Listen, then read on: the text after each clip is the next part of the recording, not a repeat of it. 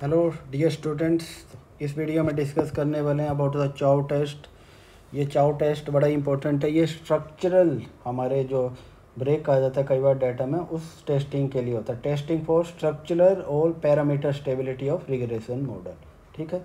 अब स्ट्रक्चरल या parameter stability कितनी है? ठीक है?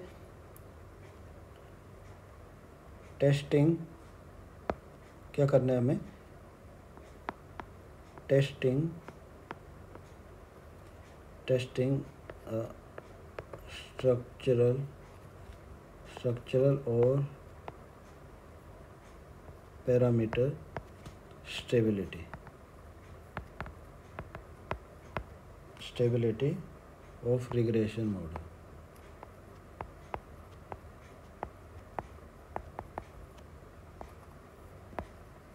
ठीक है? और इस तरह का स्ट्रक्चरल और पैरामीटर स्टेबिलिटी हम टाइम सीरीज़ डाटा में देखेंगे। अब यहाँ पे मैं एक हल्का सा आपको एक एग्जांपल देता हूँ कि जैसे मैं एक रिग्रेशन लिख रहा हूँ यहाँ पे। एक वाई आई लिख रहा हूँ, ठीक है? यहाँ पे मैं एक अल्फ़ा लिख रहा हूँ। अल्फ़ा अल्फ़ा ए वन ठीक है? अल्फ़ा ए टू मतलब अल्फ़ा टू और ये X X T plus U T लिख रहा हूँ, ठीक है? तो यहाँ पे आप देख सकते हैं कि किस तरह जो वाई का वैल्यू है हमारा, जो कि डिपेंडेंट वेरिएबल है, उसका वैल्यू काफ़ी ज़्यादा जो है एक्स टी पे डिपेंड कर रहा है एक्स की वैल्यू पे डिपेंड कर रहा है, ठीक है? तो अब यहाँ पे आपको देखना है कि मैं यहाँ पे देख रहा हूँ कि मैं पिछले नाइनटीन जैसे मैं फॉर एग्ज़ाम्पल मैं नाइनटीन सेवेंटी फोर फाइव से लेके मैं नाइनटीन 95, 96 तक का डाटा ले रहा हूँ और इन दोनों वेरिएबल के बीच में रिलेशनशिप देख रहा हूँ ठीक है? अब ये ऐसा भी तो हो सकता है कि ये जो है थ्रू आउट द पीरियड ये जो हमारा जो अल्फ़ा टू है ये पूरे पीरियड में सेम ना रहे ठीक है? बीच बीच में कुछ ऐसी पॉलिसीज़ चेंज आ जाती है उससे जो है ये ट्रू रिलेशनशिप को रिप्रेजेंट ना करें ऐसा भी हो सकता है ठीक है? तो इसी को क्या कह रहे हैं हम? स्ट्रक्चरल ब्रेक कहते हैं। ओके तो ये क्या होता है? एक्सटर्नल फोर्सेस आ जाती है, जैसे ऑयल प्राइस बढ़ गए पॉलिसीज़ चेंज हो गई, ठीक है? तो उसमें क्या हो जाता है कि ये रिलेशनशिप होल्ड नहीं करता है। फिर ये इस रिलेशनशिप को हम एक इस तरह से ए की पैरामीटर से रिप्रेजेंट नहीं कर सकते। ए टू जो है, ये सारे जो हमारा बीस पच्चीस साल का डाटा है, उस रिलेशनशिप को रिप्रेजेंट नहीं करेगा। ठीक है? जैसे मैं कोविड नाइन्टीन का एग्जांपल देता हूँ, ठीक है? जैसे मैं सेविंग लेता हूँ, अब अगर आपको सेविंग देखना सेविंग रेट देखना है, आपको two thousand two thousand ten से टू थाउज़ेंड ट्वेंटी फोर के बीच का सेविंग देखना है, ठीक है? तो यहाँ पे क्या अब अब डिस्पोजेबल इनकम जैसे मैं वाई को सेविंग देख लेता हूँ एक्स को इनकम मान लेता हूँ। तो आप देखोगे कि 1920 में जो कोविड आया, उसके बाद आप ये पैरामीटर जो है, वो ट्रूली इस रिलेशनशिप को रिप्रेजेंट नहीं करेगा। 2020 से पहले का जो डाटा बताएगा, वो कुछ अलग पिक्चर बताएगा और 2020 के बाद का जो डाटा होगा, थोड़ी अलग पिक्चर बताएगा। इसलिए हम सेम कोफिशेंट का यूज़ नहीं कर सकते दोनों पीरियड के लिए। ठीक है? तो same coefficient can not be use for representing two different period ठीक है?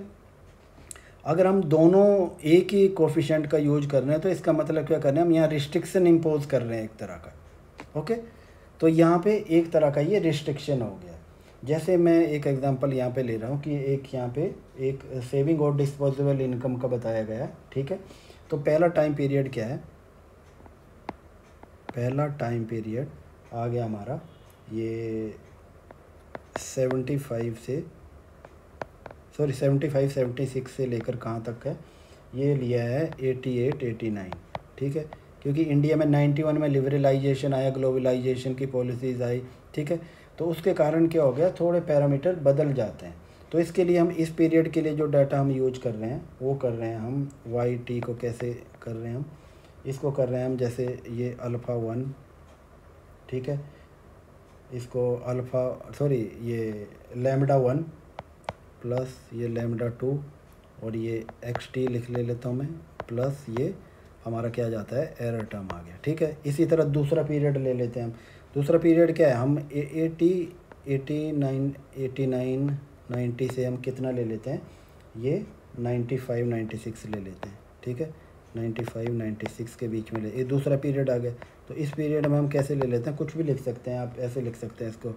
इसको लिख दो आप बीटा इसको बीटा वन ये बीटा टू ठीक है X T plus U T आ गया, ठीक है? और एक ऐसा लेना है कि पूरे पीरियड का एक ही लेना है। पूरा पीरियड क्या है? सेवेंटी फाइव से लेकर आपको नाइन्टी फाइव नाइन्टी सिक्स तक जो भी है, उसका एक ही लेना है, ठीक है? इसको मैं वाई टी करके ऐसा कर देता हूँ, ये मैं अल्फ़ा कर देता हूँ। ए वन ये alpha two X T plus U T ठीक है? तो एक, यहाँ पे क्या किया मैंने? यहाँ पे मैंने फिफ्टीन ईयर का लिया और यहाँ पे मैंने सेवन ईयर का लिया और नीचे क्या है? दोनों को जोड़ देते हैं हम तो क्या आ जाएगा? ये ट्वेंटी टू ईयर का ले लिया, ठीक है?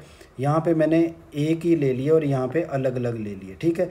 तो रिस्ट्रिक्टेड कौन हुआ? ये वाला पार्ट हमारा रिस्ट्रिक्टेड हुआ, क्योंकि हमने एक रिस्ट्रिक्शन बना लिया कि ये बीटा वन जो है, ये सेम ही है सारे पीरियड के लिए। ठीक है? जब सारे पीरियड के लिए सेम ही है तो रिस्ट्रिक्टेड ये वाला हुआ लास्ट वाला। ठीक है? हमने कंजम्पशन ले ली, एक तरह का रिस्ट्रिक्शन पर ऊपर वाले में रिस्ट्रिक्शन नहीं हमने, अलग पीरियड के लिए अलग अलग जो है हमने कोफिशेंट का कैलकुलेशन किया है। तो ये चीज़ ध्यान में रखनी है आपको। अब हमें देखना है कि किस तरह से हम देखेंगे कि ये स्ट्रक्चरल ब्रेक या पैरामीटर स्टेबल है या नहीं है। ठीक है? तो यहाँ पे नल हाइपोथेसिस क्या होती है कि ये क्या है? स्टेबल है। पैरामीटर क्या है? ये स्टेबल है मैं जूम कर लेते हैं। अब हमें एफ़ टेस्ट का यूज़ करना है इसमें। एफ़ टेस्ट का यूज़ करके हम पता लगाएँगे कि ये स्टेबल है या नहीं है, ठीक है? तो इसके लिए एफ़ टेस्ट का हम कैसे यूज़ करेंगे? जो पहले जैसे हम बात करते आ रहे थे। तो एफ़ टेस्ट का यूज़ करने के लिए एफ़ टेस्ट इक्वल टू फिर वही residual sum of square restricted कर देंगे हम, ठीक है? रिस्ट्रिक्टेड होगा तो रेजिजुअल सम ऑफ़ स्क्वायर की वैल्यू ज़्यादा होती है ऐसे भी, ठीक है? और रेजिजुअल सम ऑफ़ स्क्वायर क्या आ जाएगा? अनरिस्ट्रिक्टेड आ जाएगा। ठीक है? और अपॉन डिग्री ऑफ़ फ्रीडम के की नंबर ऑफ़ पैरामीटर जो भी हम कैलकुलेट कर रहे हैं। ठीक है? जितने भी पैरामीटर का कैलकुलेशन कर रहे हैं। ठीक है? और इसके बाद क्या करेंगे? ये आ जाएगा रेजिजुअल सम ऑफ़ स्क्वायर ये आ जाएगा अनरिस्ट्रिक्टेड ठीक है? और इसकी डिग्री ऑफ़ फ्रीडम थोड़ा अलग तरीके से टोटल आएगा। एन प्लस टू दोनों का जो आ रहा है हमारा। ठीक है? उसका आ रहा है माइनस टू के ठीक है? टोटल हमारा जो पहले वाले सैंपल में हमने किया पहले वाले पीरियड में किया आ, कितना पंद्रह साल का किया ठीक है? फिर दूसरे में किया सेवन ईयर का किया तो वो टोटल हमारा क्या आ जाता है? N one plus N two आ जाता है ठीक है? अब यहाँ पे आप देखना है कि जो मैंने पूरा पीरियड के लिए ठीक है ट्वेंटी जैसे nineteen seventy five seventy six से लेकर हमने जितना भी जो किया था कब तक किया था? Nineteen ninety five, ninety six तक किया था। तो इसको क्या बोलते हैं? हम रिस्ट्रिक्टेड बोलते हैं कि हमने क्या किया है? एक जो है इक्वलिटी वाला रिस्ट्रिक्शन लगा दिया कि सारे पीरियड में क्या है कि बीटा का वैल्यू सेम है। वो रिस्ट्रिक्शन हो गया इस तरह का। तो ये जो जितना भी टोटल पीरियड का जो हमारे पास आया हुआ है, वो रिस्ट्रिक्टेड है। ठीक है? और जब हमने दो पीरियड में तोड़ा तो वो क्या आ जाता है? अनरिस्ट्रिक्टेड आ जाता है। ठीक है? तो पहले पीरियड का अनरिस्ट्रिक्टेड आ गया, ठीक है? तो आर एस एस के आ गया। रेजिजुअल सम ऑफ़ स्क्वायर कैसे आएगा? अनरिस्ट्रिक्टेड का, ठीक है? ये आ जाएगा पहले पीरियड का residual sum of square plus दूसरे पीरियड का रेजिजुअल सम ऑफ़ स्क्वायर ठीक है? ये दोनों को हम ऐड करेंगे, तभी हमारा क्या आएगा? टोटल आएगा हमारा टोटल ठीक है? Total residual sum of square unrestricted का। ये चीज़ ध्यान रखने, कई बार बच्चे यहाँ कन्फ्यूज़ हो जाते हैं कि ऊपर वाले को नीचे कर देते हैं और नीचे वाले को ऊपर कर देते हैं। इसमें बिल्कुल भी कन्फ्यूज़न नहीं होनी चाहिए, ठीक है? अब मैं एक एग्ज़ाम्पल के थ्रू भी आपको बताने की कोशिश करता हूँ कि जैसे जैसे एफ़ टेस्ट का वैल्यू यहाँ पे मैं, यहाँ पे मैं कर देता हूँ कि जो हमारा टोटल आ रहा है आर एस एस वन और आर एस एस टू फिर फॉर एग्जांपल मैं मान लेता हूँ तो वो हमारा वैल्यू आ रहा है कि एक का वैल्यू ये आ रहा है, जैसे मैं ऐसे ही मान लेता हूँ कि ऐसे आ रहा है टेन टेन आ रहा है, ठीक है? और दूसरे का वैल्यू सॉरी टेन ऐसे आ रहा है टेन सेवन ज़ीरो ये नाइन टू ठीक है? वन थ्री फोर ठीक है? और आर एस एस टू क्या आ रहा है हमारा? ये आ रहा है six four double one seven four three zero nine आइए ठीक है? इन दोनों को टोटल करेंगे तो आपके पास कितना आएगा? ये आ जाएगा सिक्स सॉरी ये सॉरी ये यहाँ पे थोड़ा गलती हो गई। ये था five three four zero A two ये गुजराती में दिए गए हैं, आप देख सकते हैं इनको, ठीक है? और ये टोटल करके दोनों का आएगा सिक्स फोर डबल वन ये पूरा कैलकुलेटेड होता है, ठीक है? ये आ गया ये आ गया ठीक है? और जो हमारे पास रिस्ट्रिक्ट रिस्ट्रिक्टेड का आ रहा था, वो हमारे पास ऑलरेडी दिया गया है, ठीक है? तो हम इसको इस फॉर्मूले में पुट करेंगे। तो रिस्ट्रिक्टेड का क्या था? वन ज़ीरो सेवन ये रिस्ट्रिक्टेड का है, ठीक है? थ्री सिक्स ये सेवन ज़ीरो और ये नाइन ज़ीरो वन और ये फोर ज़ीरो माइनस अनरिस्ट्रिक्टेड का कितना सॉरी अन अनरिस्ट्रिक्टेड का कितना आ गया? सिक्स फोर जो हमने अभी कैलकुलेट किया सेवन फोर ये three zero nine one six आ गया, ठीक है? ये आ गया और हमारी जो है नंबर ऑफ़ पैरामीटर जो हम कैलकुलेट कर रहे हैं वो टू हैं, वो भी मैंने लिख दिया यहाँ पे। ठीक है? अब इसके बाद हमें क्या करना है कि जो अनरिस्ट्रिक्टेड है वो फिर नीचे लिखना है। फिर ये six four one one seven four three zero nine कर दिया मैंने। ठीक है?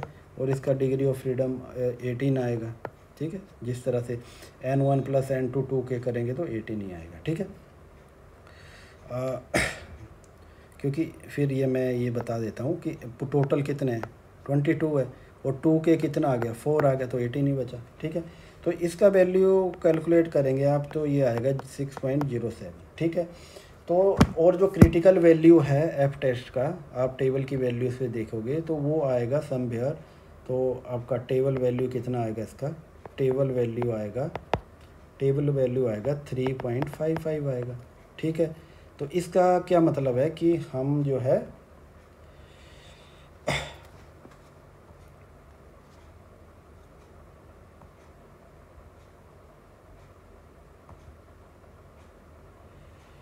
तो हमारा क्रिटिकल वैल्यू क्या है? हमारी एफ़ टेस्ट से ज़्यादा है। तो इसका क्या मतलब हो रहा है कि हमारी नल हाइपोथेसिस रिजेक्ट हो गई है। ठीक है? नल हाइपोथेसिस रिजेक्ट हो गई तो मतलब स्ट्रक्चरल चेंजेज हुए हैं। स्ट्रक्चरल चेंजेज हुए हैं। ठीक है? तो हमारा एफ़ टेस्ट का वैल्यू ग्रेटर देन क्या आ गया हमारा?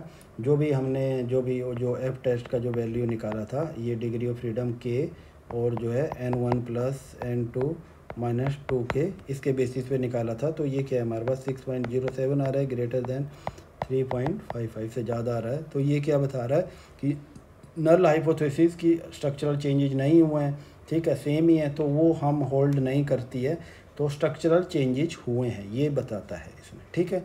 तो ये था, बिल्कुल सिंपल सा वीडियो था और बहुत ही ज़्यादा इंपॉर्टेंट है एग्ज़ाम में सीधा पूछा जाता है। तो आप इसको वंस अगेन गो थ्रू कर सकते हैं, आप एक्सरसाइज भी अटैम्प्ट कर सकते हैं। Okay thanks for watching